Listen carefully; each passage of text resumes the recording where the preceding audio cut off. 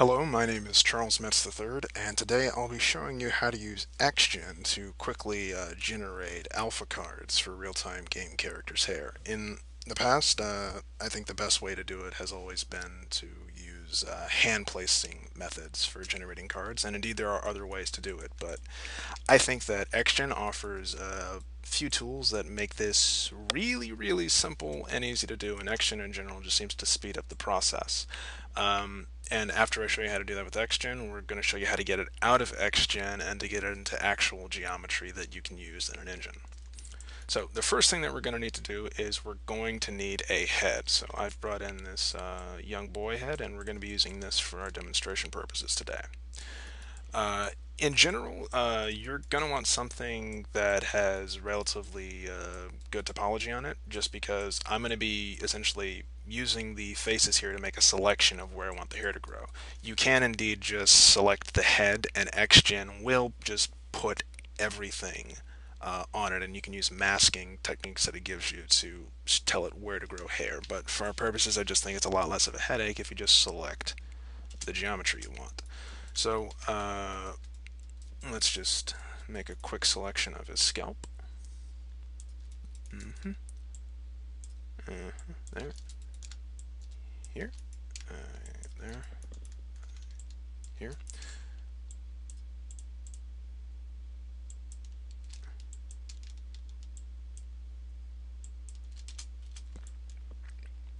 Okay. And that should roughly make for pretty good uh, layout for a scalp. Okay, now the next thing we need to do is open up XGen itself. Now, if this is your first time using XGen, your first time uh, using it in 2015, which XGen uh, was fully integrated into, if I remember correctly, uh, it's not going to be up here by default. So what we're going to need to do is go to Windows, Settings, Preferences, Plugin Manager, and you would need to scroll to the bottom. Uh, there's the XGen plugin directory there just load load auto load. And when you do that you should see it pop up here and it'll also plop a directory uh, tab right there on your shelf. So now that we have XGen loaded we need to actually open the XGen window. So first thing we're going to need to do is create a new description. And this is going to pop up. You can actually just leave this all as the default settings if you really want. Um, but just for the sake of argument, let's just name this poo, and let's just name this more poo, because I have the maturity of a 12-year-old. So uh, what we're going to do is select groomable splines, and as you can see here, uh, some of these options become grayed out based on your selection, just because certain things are not usable with some of the uh, primitive options that you have. I think groomable splines is going to give you the most control and the most bang for your buck, so that's what I will be showing in this video. Uh, there's really nothing to even select after you select groomable splines because everything else is grayed out, so we're just going to hit create. Now, you notice that it's generated um, a bunch of pink X's. Those are essentially one pink X for every face telling XGen where it can put hair and where it can't.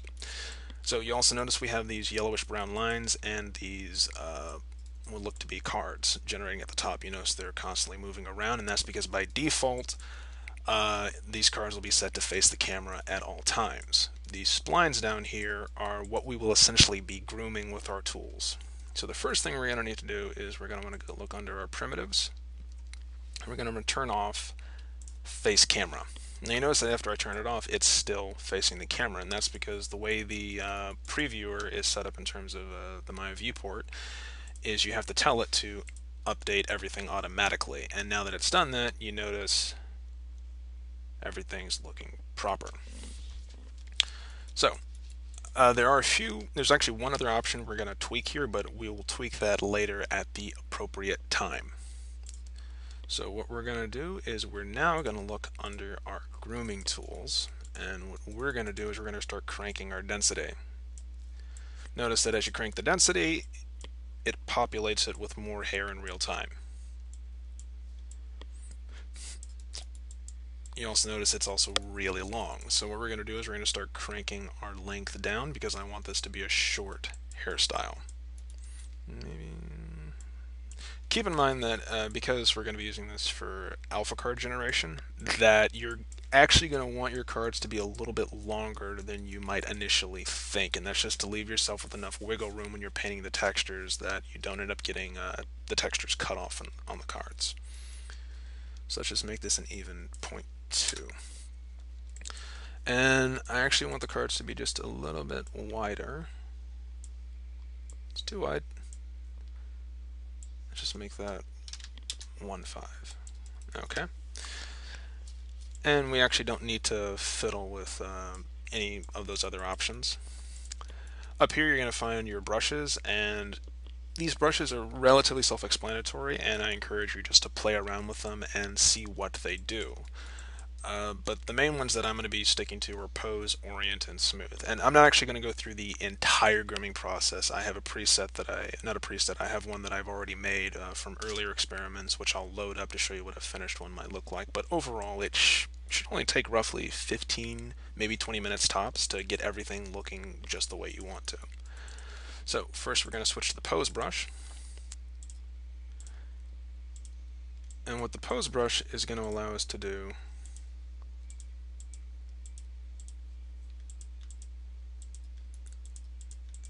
is to basically start setting the direction that the cards are going to be facing. And I'm going to set these cards so they're roughly facing where I would expect the hair uh, to grow. The direction I would expect the hair to grow, excuse me. Okay, okay.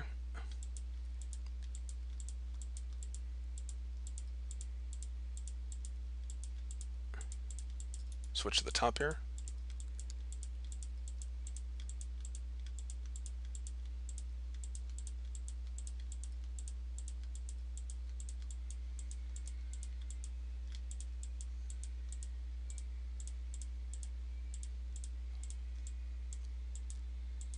And I'm going to get a little bit of a circular pattern here for the uh, crown of the hair, as I believe it's called.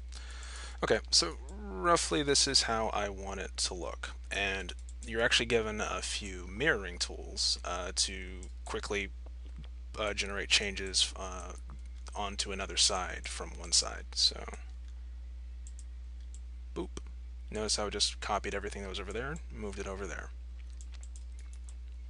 So now that the hair is roughly facing where it should be facing, we're going to switch to the Orient tool, and we're going to use that to basically brush the hair.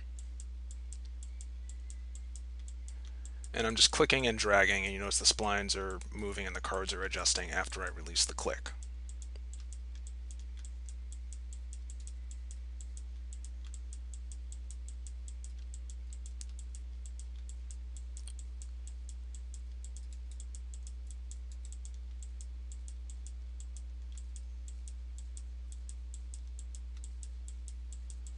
Now, at the end of the day, um, these cards will not literally be what we'll be uh, exporting. We're, we're going to be exporting when we've got the hair looking good are the splines. But uh, this is still a good way to get an idea of your placement and how you want the cards to look in the final output. And what we do end up uh, converting, when we do end up converting the splines into the uh, actual geometry, it'll roughly look like this. There'll be a few settings you can tweak here and there, but for the most part, what you see is what you're going to get when you're all set, and done.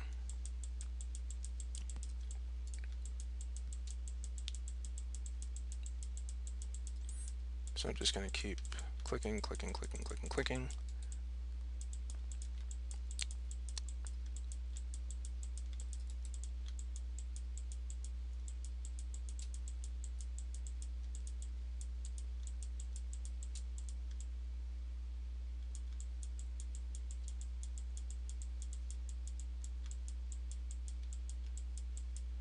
Now, let's say you do this and you uh, realize you might want a bit more coverage. You can increase the density, but if you do that, it will actually reset the positioning and the hair will be sticking out everywhere again. You can, however, increase the length whenever you want and not lose the positioning of the cards. And it's the same thing with the width. You can make so you can increase the width whenever you want and the cards will keep their position.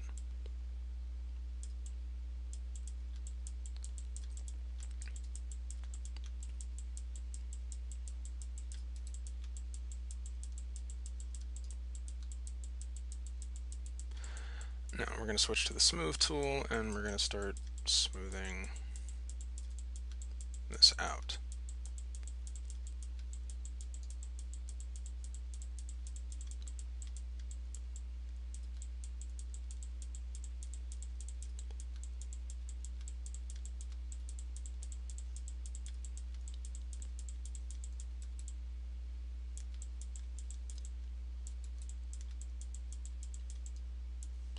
And let's actually take the length down a bit more.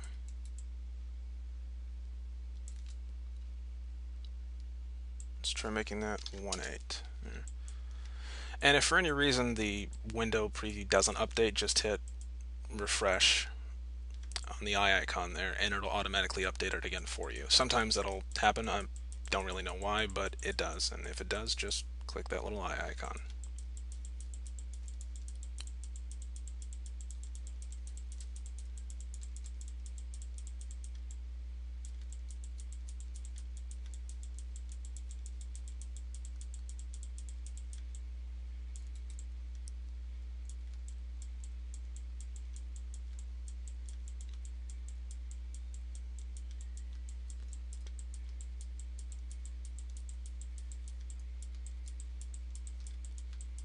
Now, like I said, I'm not going to, you know, go through the entirety of just sitting here grooming just for the sake of time. So, after you've fiddled and played around with things, what you should end up with would be something like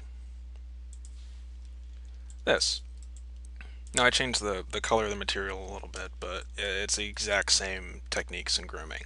I also had my density cranked a little bit more. Here my density was 285 for instance, and my length was much, much shorter.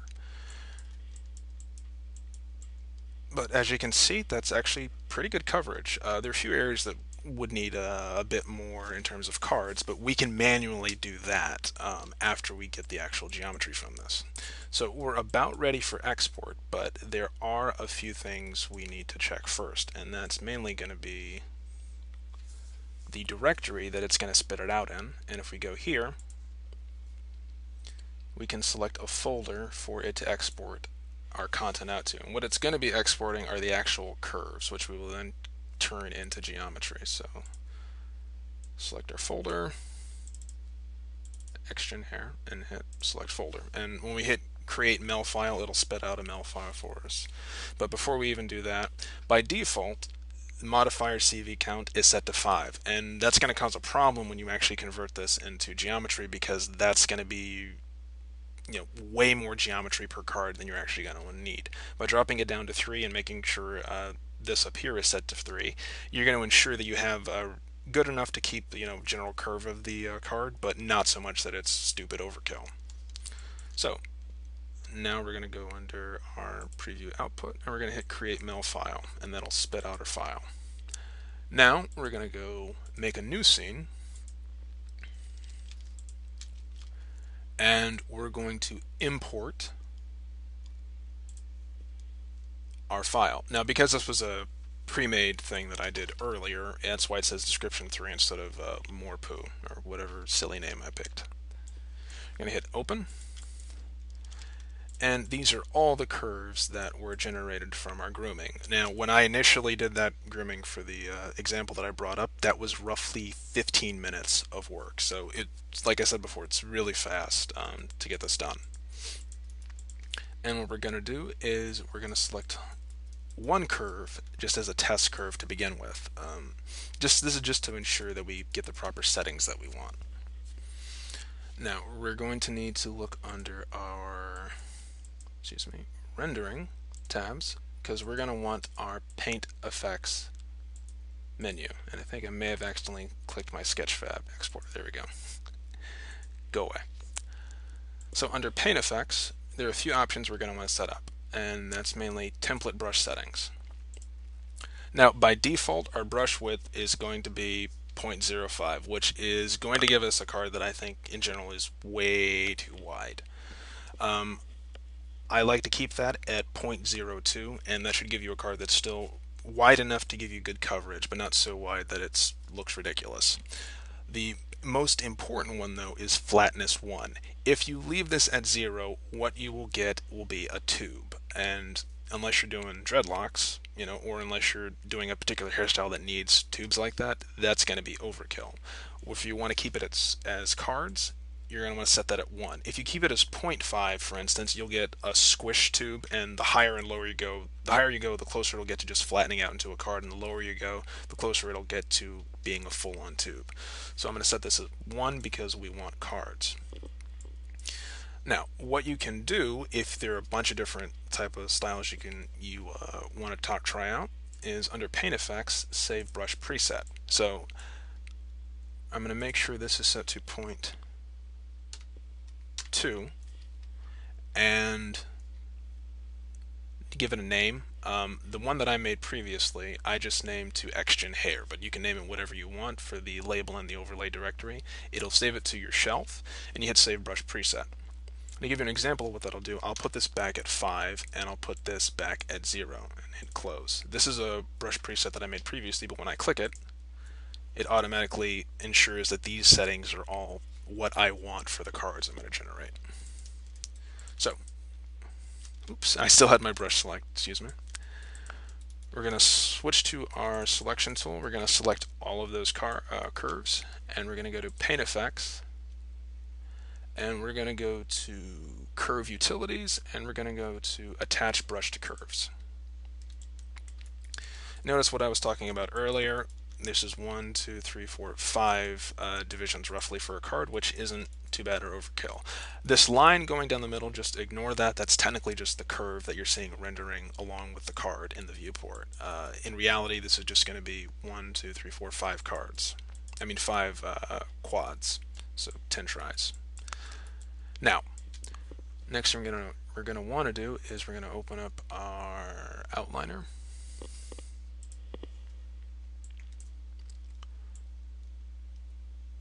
And we're going to want to go from there and select all of the strokes.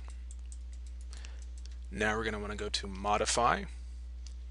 We're going to want to go to convert. And we're going to want to convert our paint effects to polygons. But before you click that button, open up the option and make sure that quad output is checked if you want quads. Otherwise, you're going to end up with uh, triangulated alpha cards. If that's okay for you, then you don't need to worry about that. But personally, I like to keep it quadded. And we're going to hit apply. There we go.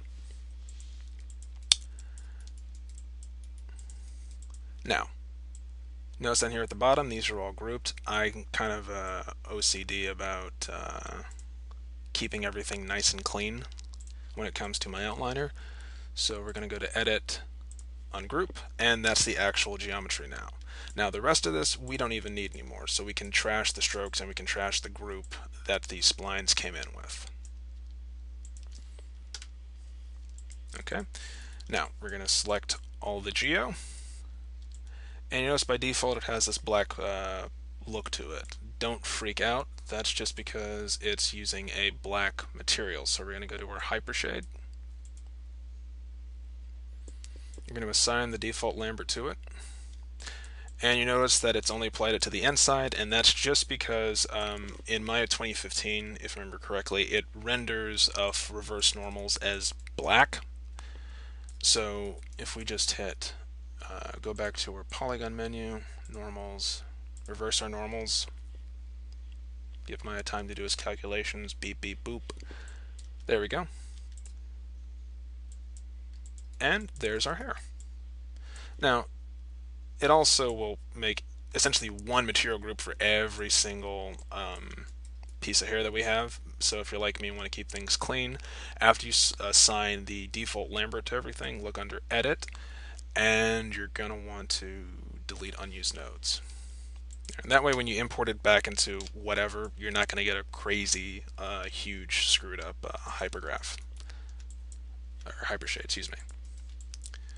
So, last thing I'm going to do is I'm going to select all of this, mesh. Well, actually, before I do that, before I forget, open up your UV editor, and you notice that the UVs for each card are already laid out. So that should help when it comes time to actually texture and break these up into individual groups. So before I export it, I'm just going to merge them all into uh, one piece. combine. Let Maya do its calculations. Beep, beep, boop. Then I'm just going to delete my history. There we go. And here is our hair. And you notice that our triangle count is you know, just above 4,000, which, you know, for a nice, you know, next-gen looking character, I wouldn't say breaks the bank too much. But like I said, you can cull uh, more faces if you want by deleting them or uh, you can use fewer, a smaller density number in XGen when you're actually getting it done. And then we can just save this out as a regular OBJ. So export selection. We're going to name the boy hair. Save. Yes. And then we can toss it into, you know, real-time engine like Marmoset because it's kick-ass. And this is what I brought in before. And as you can see, that's actually pretty good coverage. Uh, with some proper hair textures, we can have a nice looking head of hair, and with a few custom placed cards, we can get some nice variety in there that makes everything look amazing. So uh, that actually just about wraps it up. Um, hope this helped, uh, and uh, thanks very much for your time. Uh, peace out.